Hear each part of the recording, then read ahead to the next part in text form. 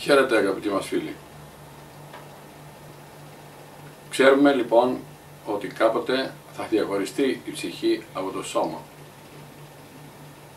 Ξέρουμε ότι όπως λέει το Ευαγγέλιο, ο θάνατος θα διαχωρίσει τα δύο αυτά στοιχεία του ανθρώπου. Δηλαδή, από τη μια μεριά το σώμα και από την άλλη το πνεύμα του.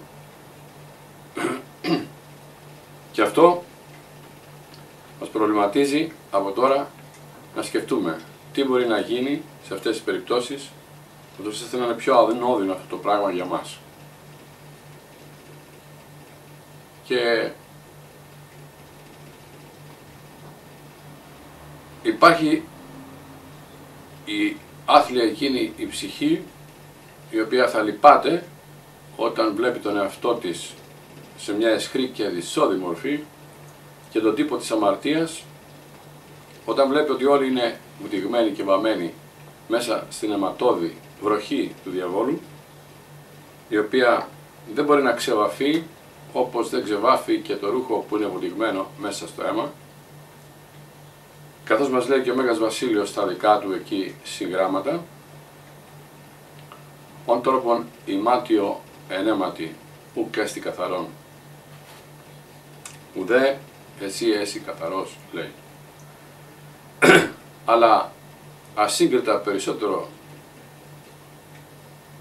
δεν ξεβάφει η ψυχή από την αμαρτία όσο το ρούχο από το αίμα. Διότι η ψυχή είναι λεπτότερη από το ρούχο και είναι λεπτότατη και όσο πιο λεπτή είναι τόσο πιο βαθιά είναι τα στίγματα της αμαρτίας.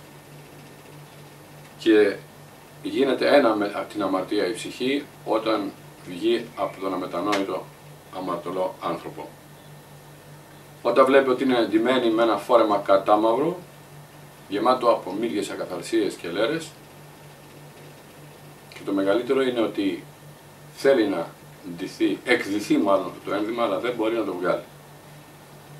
Και από όλα αυτά τα πάθη της θα κολλάζεται και θα δολεσχεί και θα βρίσκεται πάντοτε σε μια κατάσταση φοβερή, όπως γράφει και ο Άγιος Δωρόθεος, όπως εξέρχεται από το σώμα η ψυχή, μένουν εκεί τα πάθη κολλημένα επάνω της και θα φλέγεται από την όχληση των παθών αυτών, από την ενόχληση αυτή και θα διασπάται συνεχώς ώστε δεν θα μπορεί να σκεφτεί το, το Θεό αυτή η ψυχή η οποία έχει πάθει αυτά. Και πάντοτε κολλάζεται η ψυχή από την ύβρη την οποία έχει διαπράξει στην προηγούμενη ζωή, στη ζωή της και από τα πάθη τα οποία δεν τα άφησε αλλά την καταφλέγουν συνεχώς. Τότε αλλή μόνο σε εμάς αν η ψυχή αυτή, η τρισάθλια, θα δει όλα τα πονηρά της έργα σαν να είναι μαζεμένα μέσα σε μια αποθήκη. Όλη αυτή τη βρωμιά την οποία έπραξε στη ζωή της και στην νεότητά της και στην ανδρική ηλικία και στα γυρατιά της. Και αυτό είναι ένα φοβερό πράγμα γιατί αν και στα γεράματα μας αφήνει η ίδια η αμαρτία, εμείς δεν την αφήνουμε την αμαρτία πολλές φορές και στα γεράματά μας ακόμα. Και έτσι λοιπόν θα δει αυτή η ψυχή αυτά που έκανε. Και αυτά τώρα που τα βλέπει και τα μετράει σαν ένα παιχνίδι, θα τη δει πως τη μετράει ο ίδιος ο Θεός. Σαν ένα πράγμα φρικόδες και φοβερό, τελείως χωρισμένο από Αυτόν, σαν μια άπειρη ύβρη εναντίον του Θεού του Παντοκράτορος. Σαν μια αποστασία κατά της ιδείας της θεότητος. Μια αποστασία φοβερή, η οποία θα είναι παγιωμένη πλέον. Είναι σαν να σήκωσε τα χέρια της εναντίον του Θεού του ίδιου. Εναντίον του Θεού είναι η ύβρις αυτή, η αμαρτία που διέπραξε. Και τότε θα δει τις αμαρτίες που έκαναν όλοι και οι άλλοι πως έγιναν δικές της αμαρτίες. Και διότι αυτή συνήργησε σε αυτές τις αμαρτίες με το κακό της παράδειγμα. Διότι έδωσε συμβουλή στο να το κάνουν αυτό το πράγμα ή δεν τις εμπόδισε όπως είχε χρέος να τις εμποδίσει για να μην το κάνουν. Και όπως λέει και ο Απόστολος Παύλος ότι ακολουθούν με τα θάνατο και τα καλά και τα κακά των ανθρώπων και οι αμαρτίες προάγουσιν εις κρίση. Γράφει στον Τιμόθεο στην πρώτη επιστολή και τότε θα γνωρίσει και τα καλά που έπραξε αλλά με κακό τρόπο και σχεδόν ανακατεμένα με περισσότερες αμαρτίες. Δηλαδή, τις αμαρτίες, τις προσευχές που έκανε στο Θεό, δίχως να έχει καμία ευλάβεια μέσα του, ε, τις περιέργειες που ανώφελα σκέφτηκε, τις εκκλησίες που τις μόλαινε με τις ψιθυρισμούς και τις καταλλαγές και τις κατακρίσεις εναντίον ιερέων ή άλλων ανθρώπων, τα μυστήρια τα οποία ανάξια μεταχειρίστηκε αυτή η ψυχή, ακόμα θα σκεφτεί και τα καλά που θα μπορούσε να κάνει, αλλά λόγω αμέλειάς της δεν τα έκανε. Θα σκεφτεί το χρυσάφι, που είναι ο χρόνος που είχε στα χέρια της, και τον ξόδευε δίχως να σκέφτεται καθόλου τι σημαίνει αυτός ο χρόνος. Και δεν εργάστηκε τις αρετές για να ελευθερωθεί από την καταδίκη αυτή του Άδη και τότε θα τα δει όλα αυτά η ψυχή μπροστά της και θα συγχαθεί τον εαυτό της. Θα συγχαθεί τον εαυτό της γιατί τότε θα αισθάνεται μια φοβερή απέχθεια προς την ασχήμια την ειδική της παρά αν έβλεπε την ασχήμια όλων των αιώνων και θα αναστατωθεί, θα αναστενάξει από τα βάθη της, από το υπερβολικό αυτό φόρτο και πόση ντροπή θα αισθανθεί αυτή η ψυχή, μεγάλη θα αισθανθεί η ντροπή, πάρα πολύ μεγάλη ντροπή. Και θα πει, η ανομία μου ξεπέρασαν ακόμα και το κεφάλι μου όσοι φορτίων βαρύ ευαρύθησαν επ' εμέ. Σαν ένα τεράστιο φορτίο ήρθαν πάνω από το κεφάλι μου αυτές οι αμαρτίες και με κάθισαν κάτω. Και θα προσπαθούσε, αν υπήρχε τρόπος, να ξαναγυρίσει πάλι στον κόσμο και να κλαίει όλο τον υπόλοιπο καιρό της ζωής της για να αποπλύνει ίσως με τα δάκρυά της όλες αυτές τις ακαθαρσίες των αμαρτιών, αλλά αυτό δεν θα είναι πλέον δυνατό σε αυτήν. Δεν θα είναι πλέον δυνατό. Τώρα εμείς που τα μελετάμε αυτά, όσοι τα μελετάμε, φοβόμαστε όταν ακούμε αυτές τις καταδίκες που πρόκειται να πάθει αυτή η ψυχή. Αλλά δεν πρέπει να αφήνουμε τη διάνοια και τη φαντασία μας να τρέχει και να γλυκαίνεται σε λογισμούς, σε σκρούς, αλλά να θυμόμαστε τα πνευματικά και θεία νοήματα, τα οποία θα μας ωφελήσουν. Και δεν ξέρουμε ότι από τα νοήματα αυτά διαμορφώνεται και ο νους. Και αν τα νοήματα αυτά είναι θεία, γίνεται θείος και ο νους. Αν είναι σαρκικά και υλικά, γίνεται και ο νους σαρκικός και υλικός. Γιατί λοιπόν να αφήσουμε αυτή την κλίση και την όρεξη της καρδιάς να ορέγεται πάθη και κακομοιριές και άλλα διάφορα, γήινα και παρερχόμενα και να μην σκέφτεται τα αιώνια και τα θάνατα. Γιατί ο νους τότε γίνεται παρόμοιος με τα άλογα ζώα. Ενώ αν αγαπήσει τις αρετές γίνεται εις άγγελος, γίνεται ίδιος με τους αγγέλους. Ασώματη αρετή. Και ξέρουμε πως μόνο τα καλά έργα τότε μπορούν να βοηθήσουν τον άνθρωπο και αφού το ξέρουμε αυτό φορτωνόμαστε τη ζωή μας γεμάτη αμαρτίες. Ξέρουμε ότι του χριστιανού είναι το χαρακτηριστικό, όπως λέει ο Μέγας Βασίλειος, το να καθαρίζεται από κάθε με μολυσμό σαρκός και πνεύματος και να αγιάζεται, να επιτελεί αγιοσύνη, αν φόβο Θεού και αγάπη Χριστού και το να μην έχει κανένα σπήλο και ρητίδα μέσα στην ψυχή του, αλλά είναι Άγιος και αναμάρτητος και άμμος. Και εμείς να κάνουμε τελείως τα αντίθετα από αυτά τα οποία μας συμβουλεύει αυτός ο Άγιος και να μολυζόμαστε κάθε μέρα από σαρκικές αμαρτίες και να μαζεύουμε για την ψυχή μας κάθε μέρα καινούριους μολυσμούς και αμαρτίες και να είμαστε ολόκληροι λεπρωμένοι από κεφαλής μέχρι ποδών δεν ξέρουν πως στη Βασιλεία του Θεού δεν έχουν τόπο οι πόρνοι ακάθαρτοι, οι φαρμακοί όπως λέει. Όλοι αυτοί οι κίνες και οι φαρμακοί και οι πόρνοι λέει Αποκάλυψη έξω από τη Βασιλεία του Θεού. Και οι δολολάτρες και όλοι αυτοί οι οποίοι ποιούν ψεύδος λέει Αποκάλυψη. Και πως μόνο εισέρχονται σε αυτήν οι ποιούντες τις εντολές του Κυρίου. Εκείνοι οι οποίοι τουλάχιστον αγωνίζονται να ποιούν τις εντολές του Κυρίου ή να έστε η εξουσία αυτών επί το ξύλο της ζωής και της για να έρθουν λέει τελικά στην πόλη την Άγια και εμείς να θέλουμε να μιμούμαστε τους πρώτους και να μην είμαστε τους Αγίους που έχουν τα καλά έργα. Αυτή είναι τυφλό της παράδοξης στον άνθρωπο και ποιος άλλος είναι τυφλότερος από τον άνθρωπο ο οποίος κάνει το κακό αντί του καλού; Ετυφλώθηκαν λέει οι δούλοι του Θεού λέει ο Ιωσιαγιάς. Ο Νάς, ο Εδωμίτης, ήθελε να βγάλει το δεξί μάτι των Ισραηλιτών λέει, των Ιουδαίων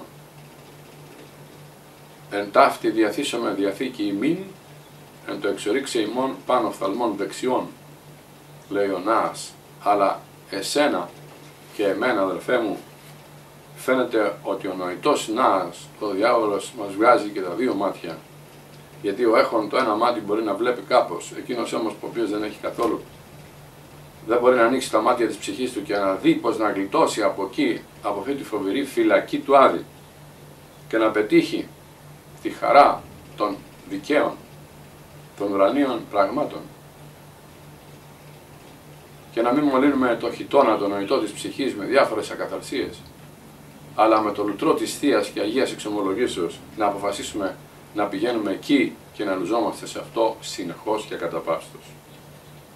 Έχουμε και δεύτερο λουτρό, τα δάκρυα της μετανοίας, με τα οποία αποπλένεται και με αυτά κάθε μολυσμός της ψυχής διότι λέει λούζω την πλήρη μου κάθε βράδυ, το, το, το στρώμα μου λέει βρέχω, λέει ο ψαλμός σίγμα, ο έκτος ψαλμός.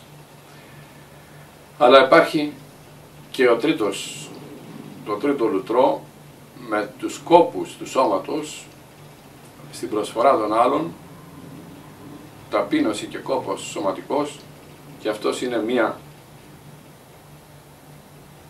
απόπληση αμαρτιών και ένα άλλο ακόμα είναι το να συναισθανόμαστε κάθε στιγμή την αμαρτωλότητά μας. Αυτό αποπλένει κάπως τις αμαρτίες μας. Διότι με την αρετή ο άνθρωπος λαμβάνει συγχώρεση των αμαρτιών του. Εάν συνεχώς προσπαθεί να πει την αρετή, να κάνει την αρετή, να μην κάνει την αμαρτία αναιρείται η αμαρτία, παίρνει τόπο η αρετή και εκτοπίζεται η αμαρτία. Αν κάθε στιγμή αισθανόμαστε ότι μπορούμε να κάνουμε κάτι καλό, δεν έχει θέση εκεί η αμαρτία. Γιατί όποιος έχει λερωμένα ρούχα δεν μπαίνει στη χαρά του γάμου, λέει ο Χριστός στην παραβολή του, ο Κύριος το επισημαίνει ότι και οι παράτεροι άνθρωποι, ασθενείς ή χολοί πνευματικά, δεν θα μπουν και αυτοί στη Βασιλεία. Διότι η Βασιλεία του Θεού δεν γίνεται νοσοκομείο αλλά και λεπροκομείο, αλλά εκεί πρέπει να μπει ο άνθρωπος υγιής και τέλειος στα όλα τα μέρη της ψυχής του. Διότι εκείνοι οι οποίοι έχουν βλάβει στην ψυχή τους κατεβαίνουν στον Άδη και τυφλοί και χολοί, δεν θα μπουν στη Βασιλεία του Θεού, μας λέει πάρα πολύ εύστοχα ο Απόστολος Παύλος. Ας σταθούμε ντροπή για τις τόσες φορές που γίναμε άξιοι του Άδη με τις αμαρτίες μας, με τις αμέλειες και να ευχαριστήσουμε τον Θεό που μας έδωσε χρόνο να μετανοήσουμε και να ντυθούμε τα μάτια της σωτηρίας και έτσι να αξιονθούμε της ουρανίου χαράς η οποία περιμένει κάθε δίκαιο άνθρωπο διότι μας συμβουλεύει με την τιμή των καλών έργων να αποκτήσουμε τα ημάτια του γάμου για να περάσουμε στη βασιλεία του. Να μπορέσουμε να εξαγοράσουμε δηλαδή από αυτόν τον ίδιο το Θεό με την εργασία των εντολών του και να βρεθούμε εκεί ντυμένοι και όχι γυμνοί την ημέρα της κρίσεως. Συμβουλεύωση αγοράσε παρεμού ημάτια λευκά ή να περιβάλλει και μη φανερωθεί η εσχήνη της γυμνότητός σου λέει στην Αποκάλυψη στο τρίτο κεφάλαιο, στο στίχο 18, σε κάποιον ο οποίος ζούσε αμελός, έτσι. Τώρα, να δούμε το φόβο που δοκιμάζει αυτή η ψυχή η οποία είναι καταδικασμένη μέσα σε μια σκοτεινή φυλακή. Διότι καθώς κάθε καλή και θεοφιλής ψυχή έχει λυθεί και ελευθερωθεί από αυτόν τον κόσμο, έτσι και αισθάνεται το καλό που την προσμένει και χαίρεται με μια θαυμαστή ειδονή πνευματική και αγαλίαση και τρόπον τεινά με τη φαντασία της απολαμβάνει εκείνα που πρόκειται να απολαύσει πριν έτσι λέει ο Γρηγόριος Θεολόγος στον Επιτάφιο Λόγο προς τον Κεσάριο έτσι και η αμαρτωλή ψυχή αντιθέτως θα βρίσκεται σε έναν παντοτινό φόβο και μια αγωνία και με τη φαντασία της από τώρα ακόμα θα δοκιμάζει την τέλεια κόλαση την οποία πρόκειται να δοκιμάσει μετά την Ανάσταση των νεκρών. Διότι συμπεραίνει η ψυχή αυτή το μέλλον κακό που την περιμένει. Και το παρόν κακό που δοκιμάζει συλλογίζεται πως δεν θα μπορέσει να το διαφύγει μέσα στη φυλακή του Άδη και έχει τόση θλίψη και βάσανο εκεί που είναι ανυπόφορη στον καθένα που τη δοκιμάζει αυτή τη θλίψη. Έστω και για μια στιγμή λέει, είναι τεράστια η θλίψη που δοκιμάζει ο άνθρωπος εκεί. Και θα είναι μεγάλη και ασύγκριτη εκεί η κόλαση, γιατί θα υπάρχει οδύνη και μεγάλη βάσανο σε αυτήν, εκείνο το πύρ το άσβεστο της γενένης, στο οποίο θα καταδικαστούν όλοι οι κολλασμένοι. Και αυτή η ίδια η ψυχή του ανθρώπου του αμελούς, εκείνου που είπε ότι όλα αυτά είναι ψέματα και παραμύθια, εκείνο που αγνώρισε το Λόγο του Θεού, που αγνώρισε τα λόγια του Χριστού, που αγνώρισε όλους τους ανθρώπους που της μίλησαν για αρετή, για εκκλησία, για μετάνοια και τους πέρασε για τρελούς και παλαβούς και παρανοϊκούς όπως περνούσαν τρελούς στη Ρωσία εκείνους οι οποίοι πίστευαν στο Θεό. Αυτή λοιπόν την δοκιμή της κακιάς στιγμής του φυλακισμένου πνεύματος τη δοκιμάζει η κολλασμένη ψυχή και από εδώ και θα πρέπει να καταλάβει ότι πρέπει να ξεφύγει από, αυτή, από αυτό το που μέλεται να τη συμβεί στο πύρ το αιώνιο, το, ετοιμασμένο, το ετοιμασμένο, το διαβόλο και τις αγγέλες αυτού που μας λέει στο Ματθαίο ο ίδιος ο Χριστός πάλι στο ΚΕ κεφάλαιο ή να ακούσει το Δαβίδ που λέει ότι πότε θα αποστραφούν οι αμαρτωλοί τον Άδη. Και κάθε δέντρο το οποίο δεν πει καλό καρπό κόβεται και βάλετε στο πύρο. Το ρίχνουν στο φούρνο, το ρίχνουν στη φωτιά. Αν βρισκόταν ένας άγγελος να φωνάξει αυτή την καταδικασμένη ψυχή ότι ο Θεός της πλαχνίστηκε και τη γυρίζει πάλι πίσω σε αυτή τη ζωή για να μετανοήσει ολοκάρδια και να γλιτώσει από αυτή τη μέλουσα κόλαση που την περιμένει, φανταστείτε τι μεγάλη χαρά θα αισθανόταν αυτή η ψυχή αν πραγματικά άλλαζε η απόφαση του Θεού και θα αισθανόταν αυτή η άθλια ψυχή χαρά για το ότι θα ζούσε πλέον ε, αιώνια και θα έδειχνε μια μετάνοια συντριμμένη αν ξαναζούσε σε αυτή τη ζωή υποθετικά θα ξεπερούσε τη μετάνοια των τελωνών και των πορνών του Δαβίδ, του Μανασί όλων αυτών οι οποίοι μετανόησαν με επίγνωση και καρδιά.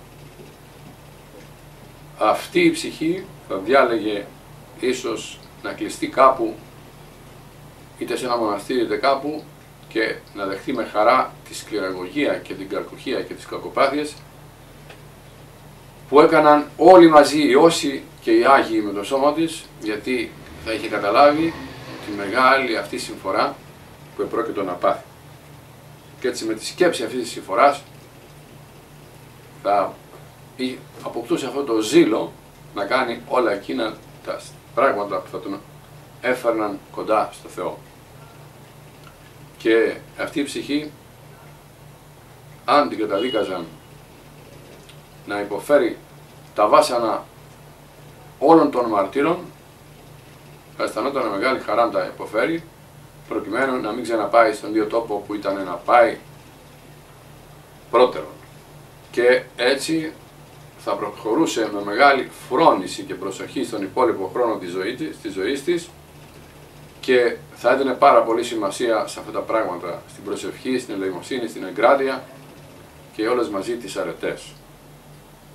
Διότι θα ήξερε πλέον ότι το πάθημα θα της γινόταν ένα φοβερό μάθημα και θα ήθελε να γίνει και αυτή ένας κήρυκας της μετανοίας και της διορθώσεως σε όλο τον κόσμο, όλων των ανθρώπων και θα ήθελε να πει μαζί με τον Δαβίδ «Ναι, διδάξω ανώμους τα σοδούς σου και ασεβείς επισέ επιστρέψουσι όπως λέει στον 50ο ψαλμό ο προφητάναξ Δαβίδ. Αλλά αυτά είναι αδύνατα να τα πράξει η ψυχή καθοδόν προς την κρίση γιατί εκεί τελείωσε ο χρόνος της προθεσμίας της. Γι' αυτό τώρα με φρόνηση να σκεφτούμε ότι θα έρθει η στιγμή που θα μπορούμε να κάνουμε τίποτα καλό. Να επανορθώσουμε και ότι καλό μπορούμε να το κάνουμε τώρα. Εμείς όμως αγαπητοί που ακούμε αυτά και ανάγλυφα βλέπουμε τα λόγια του Ευαγγελίου να μην περιμένουμε κάποιον άλλον να μας κηρύξει τα λόγια αυτά γιατί έχουμε ήδη τους προφήτες και τα Ευαγγέλια έχουμε το Άγιο Ευαγγέλιο την Καινή Διαθήκη η οποία η Καινή Διαθήκη η οποία μας πληροφορεί για όλα αυτά τα πράγματα που έχουμε κάθε μέρα τη δυνατότητα να διαβάζουμε και να παρακολουθούμε. Όπως είπε, έχουν λέει τον ε, Μωυσέα και τους προφήτες και θα μπορούσαν από εκεί να πάνε και να καταλάβουν τι γίνεται και να διαβάσουν και να μάθουν. Γιατί είπε λέει αυτή η ψυχή άσε να αναστηθεί λέει ο Λάζαρος πάλι και να πάει να τους διδάξει λέει και να τους πει στα αδέρφια μου ότι υπάρχει κόλαση και είναι φοβερή. Όχι λέει ο Αβραάμ στον υποθετικό αυτό διάλογο δεν θα πιστούνε αν τους μιλήσει ένας άνθρωπος αναστημένος, αλλά έχουν τον Μωυσή και τους προφήτες οι οποίοι μπορούν να τους πείσουν με τα λεγόμενά τους, τα οποία τα λεγόμενα είναι πιο ισχυρά από την ομολογία ενός μόνο ανθρώπου, έστω και αναστημένου. Και αν σταθούμε μεγαλόψυχα και υπομείνουμε τους πειρασμούς που θα ακολουθήσουν στη μετέπειτα ζωή μας, ασχολούμενοι με τα έργα της ευποιίας, δηλαδή με την ελεημοσύνη και να κάνουμε στους άλλους εκείνο που θέλουν αυτοί να κάνουν σε, σε εμά, να ελεούμε δηλαδή τους άλλους, τότε όλες αυτές οι αρετές θα γίνουν ένα εργαλείο στην ψυχή που με αυτό το εργαλείο θα μπορέσει να ανέβει και να φτάσει εκεί σε εκείνο το σημείο. Γιατί αν δεν αρχίσουμε από τώρα να κάνουμε αυτά τα λίγα, θα μας προλάβει ο καιρός και δεν θα φτάσουμε προς το τέλος και θα βρισκόμαστε μέσα σε μια ματαιότητα τις τελευταίες στιγμές της ζωής μας αγωνιζόμενοι όταν δεν μπορούμε να αγωνιστούμε πια.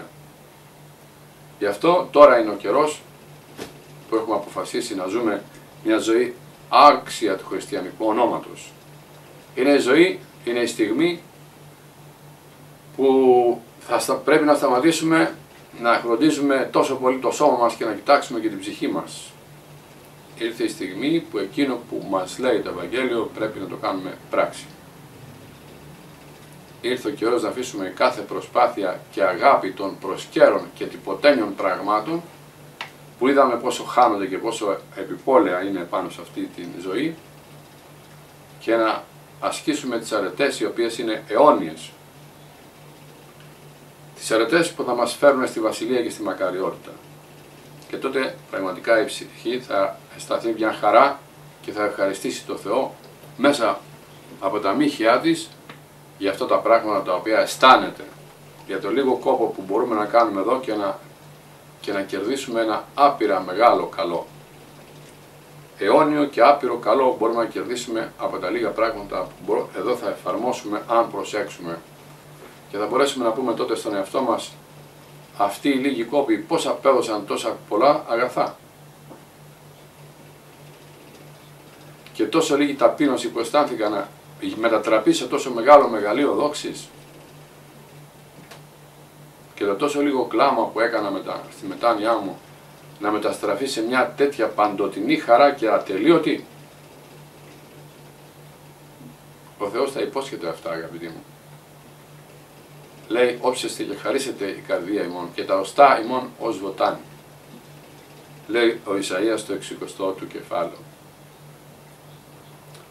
Αν όμως αμελήσουμε αυτό το λίγο χρόνο που μας έμεινε για να μεταχειριστούμε αυτό το χρόνο για να γλιτώσουμε από τον φόβο της μελούσης κολάσεως, τότε είμαστε άξιοι αυτού που πρόκειται να πάθουμε. Καθώς μια νύφη δεν φύλαξε τιμή στον εμφύο της λέει, έτσι και η ψυχή, η αμαρτωλή ψυχή, όταν φανεί άπιστη στο Θεό, το νοητό μας νυμφίο, στο Χριστό, τον οποίο, στον οποίο έδωσε υπόσχεση στο Άγιο Βάπτισμα να συνταχθεί μαζί του και να αποταχθεί το σατανά, τότε λοιπόν φαντάζεστε αυτή η προδοσία που θα αισθάνεται η ψυχή δεν θα της επιτρέπει ούτε καν να σηκώσει τα μάτια και να κοιτάξει προς τη μεριά του Θεού. Αυτά λοιπόν είναι εκείνα τα οποία πρέπει να προσέξει κανείς σε αυτή τη ζωή και να έχει εμπιστοσύνη πάντοτε στα λόγια του Ευαγγελίου και να ξέρει ότι τίποτα από αυτά τα πράγματα του κόσμου που ακούει και βλέπει δεν είναι σταθερό και μόνιμο, αλλά μόνο τα λόγια του Θεού. Και για να μην αισθανθούμε το φόβο και την αγωνία που αισθάνονται οι καταδικασμένες ψυχές και τη μέλουσα κόλαση που τους περιμένει, θα πρέπει να βαδίζουμε προς το φως συνεχώς με τα πνευματικά χαρίσματα τα οποία μας παρέχει ο Θεός αν τα ζητήσουμε, την ελπίδα, την αγάπη και όλες τις άλλες ηθικές αρετές που απέκτησε κανείς με κόπο σε αυτή τη ζωή, οι οποίες θα μείνουν για πάντα πάνω του και θα του δίνουν την αιώνια χαρά, την αιώνια ειρήνη, την αιώνια καλοσύνη. Εάν αποχωριστεί όμως από αυτά τα χαρίσματα του Αγίου Πνεύματος, δεν υπάρχει περίπτωση να απολαύσει την ουράνια βασιλεία και να πετύχει αυτόν τον νοητό γάμο με τον ουράνιο νυμφίο, γιατί θα στερηθεί τα πάντα και θα είναι εγκαταλελειμμένη από τους πάντες και τα πάντα, χωρισμένη από το Θεό, που δεν υπάρχει μεγαλύτερο κακό, μπορεί να πάθει κάποιος, ο αποχωρισμός από το Θεό είναι ο θάνατος της ψυχής. Και θα πέσει στα χέρια εκείνων που δεν θέλει, οι οποίοι θα τον καταδικάσουν, θα κατεβεβάσουν κάτω στον Άδη. Και δεν θα έχει καμία ελπίδα πλέον να ανέβει προς τα πάνω, προς τον παράδεισο της χαράς του Θεού.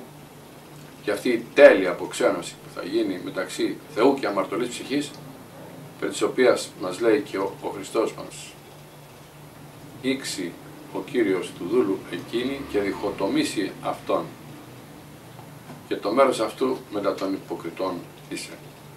Εκεί έστε ο κλαθμός και ο βρυγμός των οδόντων. Ο τριγμός, ο βρυγμός.